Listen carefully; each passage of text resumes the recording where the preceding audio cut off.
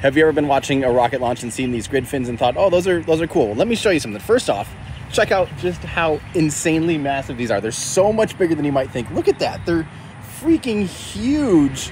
Yeah, those are grid fins on the Falcon 9. These aren't even Starship's grid fins, which are so much bigger, like three or four times bigger. So the Falcon 9 has a mechanism to deploy these. So on ascent, these actually lay completely flat against the fuselage, and then they deploy once it's in space to prepare for reentry. Now, Starship does not do that. They're just deciding to keep them deployed the entire time. Now, you can tell these are the old aluminum style uh, grid fins because the surface here is completely flat. The newer titanium style ones have serrated teeth on the Block 5 booster, and that's to make it so it has more control authority during the transonic region between going from supersonic down to subsonic. The air flows just through them. They're not like huge drag brakes. They're actually you know, mostly completely invisible to the wind stream. But when they turn off angle to the airstream, then that's when they start to produce torque uh, and aerodynamic surface like that. So they only spin back and forth. They only go like this, and that's the only axes that it can rotate upon. So when you pair this with the one opposite of the booster, you can get you know your pitch and pair this one with that one in the same way. You'll get your your yaw, and if you actually couple them and have them all rotating in the same direction, you'll get your roll. And then you use all of these